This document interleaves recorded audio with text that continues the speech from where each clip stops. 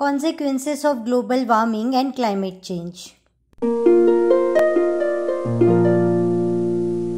Global warming is the long term rise in the average temperature of the Earth's climate system. Climate change encompasses not only rising average temperatures but also extreme weather events. Further, warming of our atmosphere is now almost impossible to avoid. Global warming changes weather patterns, heat waves, droughts, and floods. Climate change is already shrinking glaciers and ice caps, altering the availability of fresh water. It contributes to ocean acidification, destroying coral reefs and other aquatic ecosystems. Global climate change has already had observable effects on the environment. Glaciers are melting, sea levels are rising, cloud forests are dying, and wildlife is crumbling to keep pace. Plant and animal ranges have shifted and trees are flowering sooner. All of these changes are emerging as humans continue to add heat trapping greenhouse gases to the atmosphere. The potential future effects global climate change include more frequent wildfires, longer period of drought in some regions, and an increase in the number, duration, and intensity of tropical storms. There are multiple drivers of climate change, amongst which population is only one.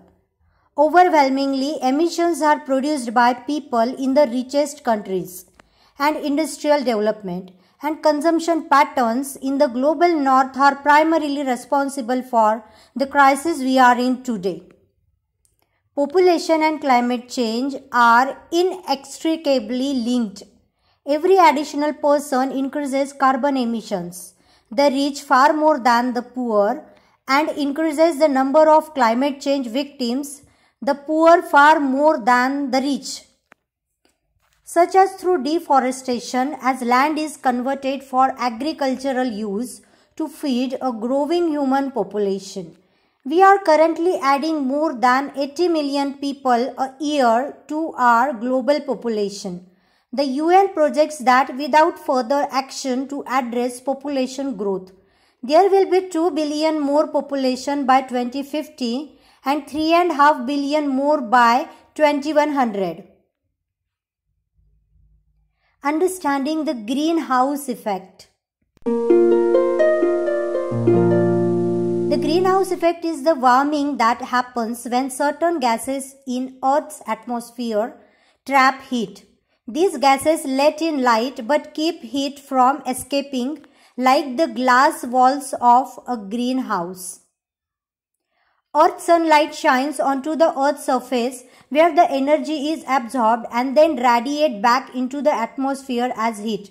In the atmosphere, greenhouse gas molecules trap some of the heat and the rest escapes into space.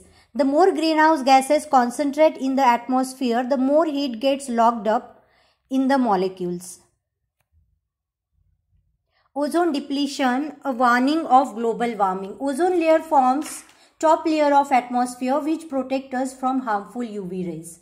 Ozone depletion is a major environmental problem because it increases the amount of UV radiation that reaches Earth's surface which increases the rate of skin cancer, eye cataracts and genetic and immune system damage. Changes in precipitation patterns. Precipitation has increased across the globe on average. Yet some regions are experiencing more severe drought increasing the risk of wildfires, lost crops, and drinking water shortages. More droughts and heat waves.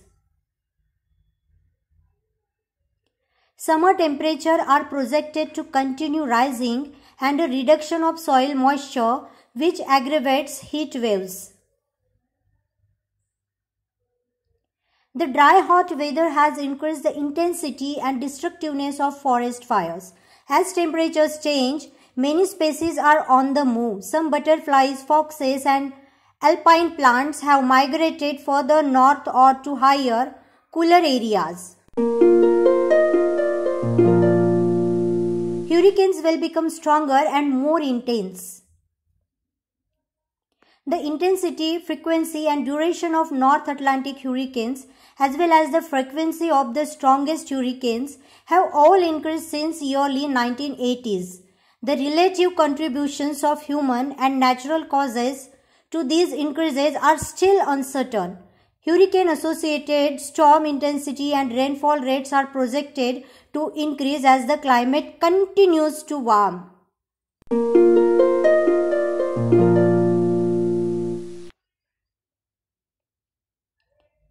Arctic likely to become ice free. Scientists have already documented these impacts of climate change. Ice is melting worldwide, especially at the Earth's pole. This includes mountain glaciers, ice sheets covering West Antarctica and Greenland, and Arctic sea ice. The Arctic Ocean is expected to become essentially ice free in the summer before mid-century. Ice melts on a mountain lake. Lakes around the world are freezing less and less over time. And in a few decades, thousands of lakes around the world may lose their winter ice cover entirely. Rising temperatures are affecting wildlife and their habitats. Vanishing ice has challenged species such as the Adelie penguin in Antarctica, where some populations on the western peninsula have collapsed by 90% or more. Climate change is impacting flora and fauna across the Arctic. Although scientists don't know specifically what killed this individual polar bear, experts warn that many of the bears are having trouble finding food as the sea ice they historically relied on thins and, and melts earlier sea level will rise 1 to 4 feet by 2100.